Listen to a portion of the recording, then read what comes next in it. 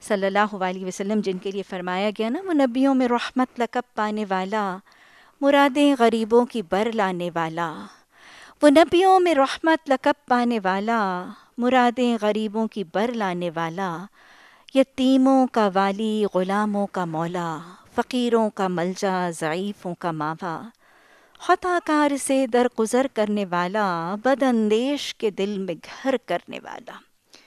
بڑی خوبصورتی کے ساتھ نبی صلی اللہ علیہ وسلم کی سنتوں کے کچھ نمونے بتائے گئے اور واقع ایسے ہی تھا۔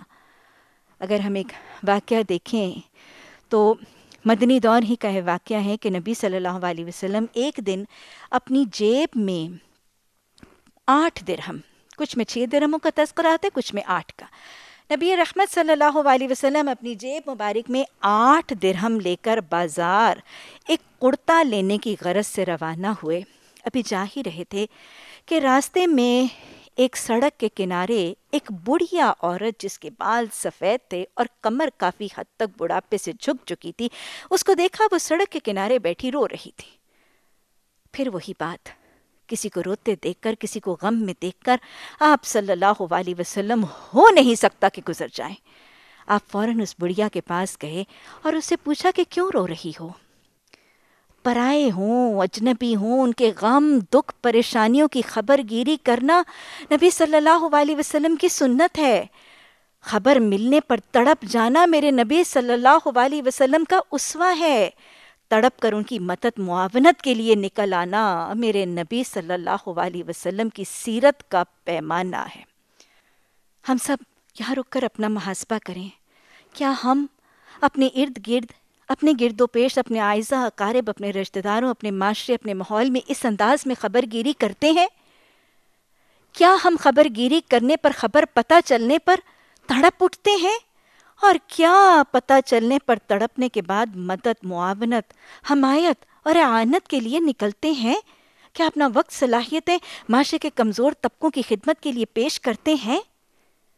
یاد رکھیے، قرآن نے مجھے آپ کو درس دیا، لقد قان لکم فی رسول اللہ اسوۃ حسنت تمہارے لیے تمہارے نبی صلی اللہ علیہ وسلم کے اسوا میں بہترین نمونہ ہے۔ آپ صلی اللہ علیہ وسلم نے اس خاتون سے اس کے رونے کی وجہ پوچھی۔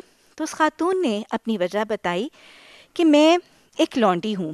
میری مالکنوں نے مجھے دو درہم دے کر بازار سے کچھ سامان خریدنے کے لیے بھیجا، لیکن لیکن میرے سے وہ دو درہم گر گئے ہیں۔ کب سے تلاش کر رہی ہوں اور اب ڈر رہی ہوں کہ کیا کروں۔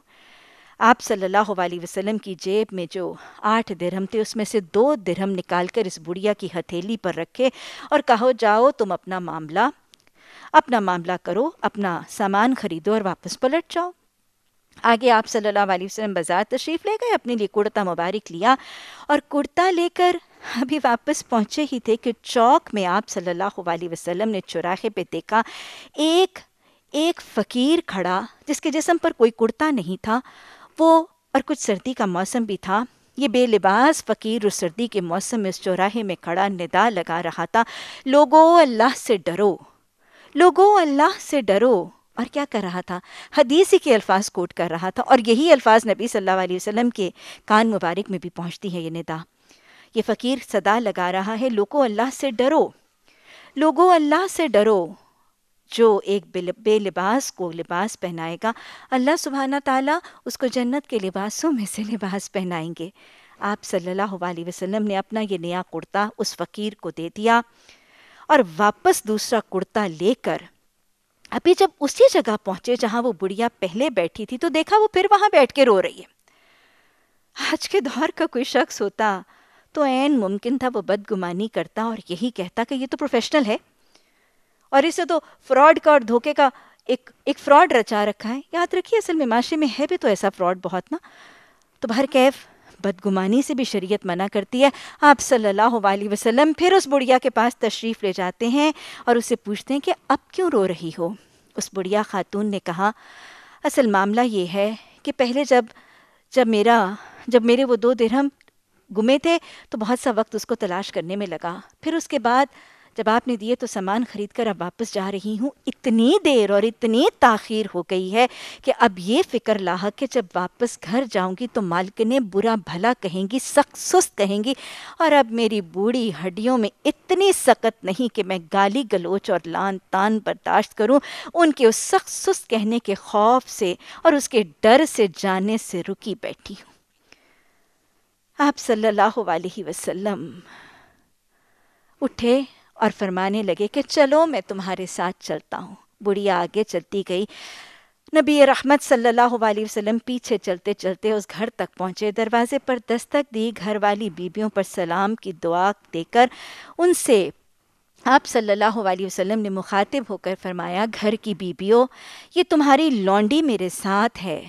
میں اس کا سفارشی بن کے آیا ہوں۔ جس کا سفارشی ایسا ہو جس کی سفارش کرنے والا ایسا ہو، اس کے ساتھ معاملہ کیسا ہوگا؟